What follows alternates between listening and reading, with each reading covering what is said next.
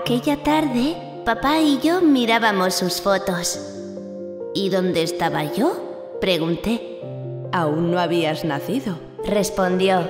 Por eso, ¿dónde estaba yo? Yo aún no lo sabía, pero siempre habías estado ahí. ¿Ahí? ¿Dónde? Pregunté. En todos los sitios. Solo te tenía que recoger.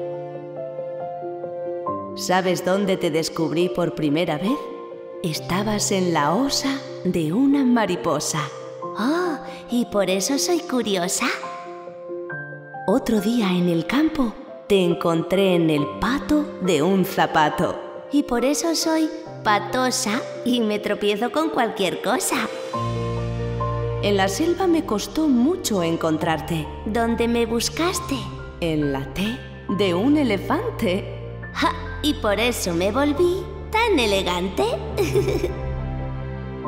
¿Dónde estaba Ana antes de nacer? Descubrirlo se convertirá en un fascinante viaje de palabras y rimas en el que uno va descubriendo por qué es como es.